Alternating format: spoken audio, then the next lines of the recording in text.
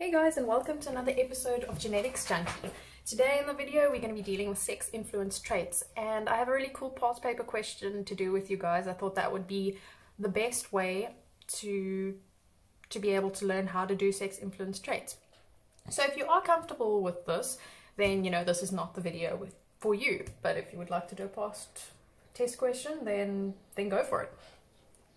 Alright so I have put the question in the comments below so you can pause the video now and give it a read. Alright, so hopefully you've done that and you've acquainted yourself. But before we get started, I just want to give a little bit of background information about sex influence traits. So firstly, these particular alleles that are found in both males and females um, cause the expression of a particular phenotype but it depends on the hormone constitution of the individual whether that phenotype is expressed or not. So, pretty much, um, this only affects really the heterozygotes of males and females, and the homozygotes are not really affected in this. And I'm going to show you how that works. So, also, a lot of people have been messaging me and they say, How do you sift through this information and know immediately that this was a sex influenced trait? And I'm just going to give you tips on those two clues. Uh, firstly, they say in sheep, and I immediately knew when they said in sheep, this is possibly going to be a sex-influenced trait. Um, because the most common examples of sex-influenced traits is sheep horns and male pattern baldness. And just to talk about that is like, you females can still be bald, but it's more likely in males because of their hormone constitution. So yeah, just moving on from that. So if you ever see something about sheep or male pattern baldness, you know it's sex influenced. Another thing to note is that sex influenced traits do not involve, involve your X and Y chromosomes at all. They are autosomal genes on autosomal chromosomes. Um, so that's where a lot of people get confused. Okay, so also the other tip that they give me is that they say that um, the horned large H is dominant over hornless small h in males, but recessive in females. So they've already given me a kind of clue that they say that an allele in one sex is different to an allele in another sex. And then I was like, okay, then we're definitely dealing with sex influence traits. So that's how I knew what this question was about. Okay, so then they're pretty much asking for your F1 and F2 offspring. So that's easy, we're going to be doing simple crosses here. Um, yeah, so just to get started, they talk about, hopefully everyone can see, let me just check how to move it. So we have fleece, is our first trait. And I pretty much can see that that is going to be a normal autosomal um, trait that we're dealing with. So large W causes white fleece and small w causes black fleece. Alright, so that's our first trait. The other trait, now here comes the tricky part. This is our horns in the sheep. This is the thing that is a sex-influenced um, gene. So they say males, uh, sorry, males, the large H pretty much causes horns, right? And um, in heterozygotes, that would stand true as well, because the, the dominant large H still is dominant in, in males. So we take it that if a large H is present in males, they will still have horns. But if they have two small H's, then they will be hornless. So great, we've got that down. Okay, so now in females, they say that the large H is recessive. So now you could be thinking, okay, well, like, why is the large H, how can it be recessive in females because it's a large H? Well, it just means that the smaller H in females pretty much masks the large H. So wherever we see, so this is in, in particularly in the in the um, in the females, if a large H in heterozygotes, if the large H is present with with a small H, then they will be hornless. So if we have two, a homozygous large H, large H female, they will have horns. But in heterozygotes, because it has a small h with it, it will be hornless. And then you have to have two small h's, then that will also, oh sorry, I messed up, missed out the n over there. It's hornless there. So actually the hornless. There we go. So that's, this will stand for all sex influence traits. So if you have a sex influence trait, trait my, my um, advice to you would just be to write this down because it doesn't change for any of the questions. So I just actually just highlight it, just want to show you.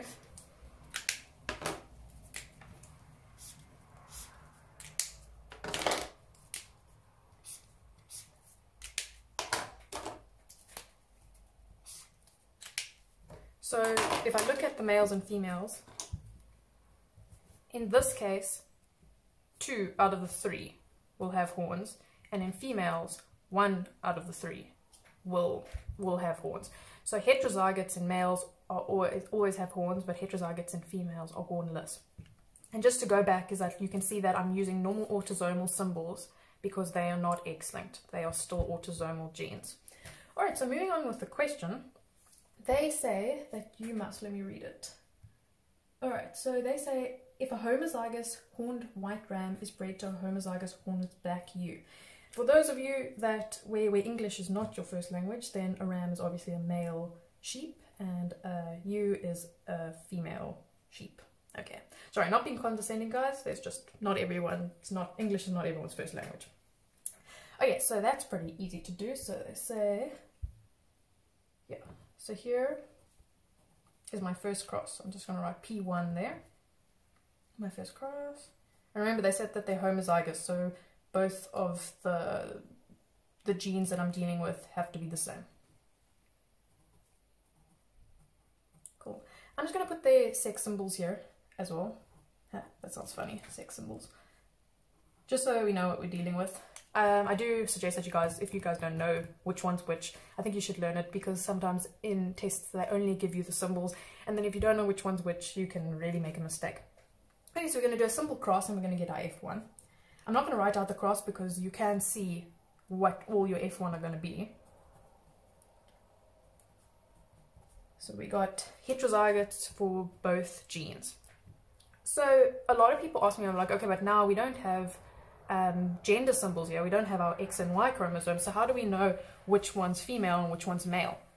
So in questions like these, they don't expect you to know actual progeny numbers. What they expect you to know is just like, if all the, the offspring were females, what are they going to look like? And if all the progeny were males, what are they going to look like? So if all of these were um, females, then we'd end up having a white hornless female because I checked that big W little w gives you white and a heterozygote female makes them hornless. But if it's a male, then we would have white, all of them would be white and they would have horns because a heterozygote is, has horns. So that's how we worked worked it out. And now they still want your, we have our F, F1, you can write down what their, what their phenotypes look like. I think that's what they want. Yeah, they do want the phenotypes, but I'm not going to write it down. But now they still want your F2. So we're just going to take a male and a female F1 and, and cross them to get our F2. They don't say that in the question, so you have to kind of make that assumption yourself that in the offspring there would be males and females. Alright, so I have saved us the trouble. Ta-da! And I did that cross because I thought I don't want you guys sitting here for so long. Um, but what I'm going to do is I'm just going to highlight um, the males and the females to be able to write out their phenotypes. So the thing is, everyone gets confused here is they're like, again, you don't know out of this Punnett square which are males and which are females. So what you end up having to do is you have to look at this in a whole and say, okay, if all of these were males, what would their phenotypes be? And then once you've done that, then you look at it again and you think, okay, well, for all of these, what are the phenotypes if they are all female? So I'm just going to first like highlight all the, the males. Okay. So all of these pretty much look the same.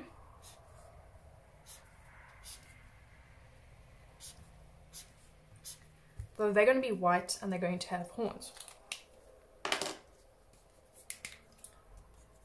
then these ones are going to be the same. They're going to be white and they're going to be hornless. Then all of these are going to be the same. And they're going to be, what are they going to, they're going to be black and they're going to have horns. And then the last one is going to be black and be hornless as well. And that's just for the males. So I'm going to put all these color, colors aside because now I want to do the females. So for the females, and I'm missing another color, damn it. Okay, anyways, for the females, I'm just going to put dots next to them so that I can I can work out which one's males and which one's females. So all of these are going to be, what are they going to be? They're going to be white and they're going to be hornless. Just bear with me while I'm doing this. Sorry, why did I highlight that one? That one's not right. No, it is. Okay, yeah, they're going to be white and they're going to be hornless. Yeah, let me just check. Yeah, that looks pretty good. And these ones are going to be black and hornless. If I'm correct. And then these ones are going to be white and have horns. And this last one, I'm just not going to colour because now I have run out of highlighters. Actually, no, I think I got another one. Sorry. And then this one is going to be the one that is going to be um, black and have horns. So now that I've got all my progeny set up, I'm just going to write out my phenotypes. Right, so for the males, this is my male category, I know that there's going to be 9 out of 16 white and horned, and then I'm going to have 3 out of 16 white and hornless, 3 out of 16 black and horned, and 1 out of 16 black and hornless. Now I'm done with the males, now I'm going to look at my dots and count them up.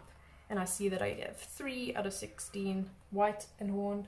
I'm going to have 9 out of 16 white and hornless, 1 out of 16 black and horned, and 3 out of 16 black and hornless. So as you guys can see, I had to look at my progeny separately. I didn't have any X and Y chromosomes to tell me what sex they were. So it's all based on if you all lump it together and you think, okay, if all my progeny were males, what are my ratios going to be? If all my progeny are females, what are my ratios going to be? So yeah, that's how you do sex influence traits. Um, I hope the question makes sense to you and that you can see this, that only heterozygotes are really affected in sex influence traits.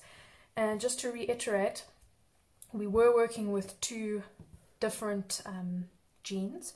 So they just make that a little bit harder as if we were working with one.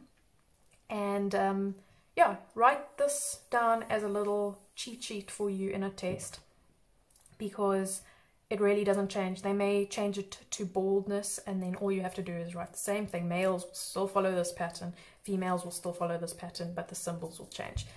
Um, yeah, and just don't get confused when you're using your F1 because your F1 might all be the same, but there are still males and females in your F1. They just don't show it. You have to, you have to um, work it out for yourself. So yeah, I hope that was helpful and look out for my next video. Cheers, guys.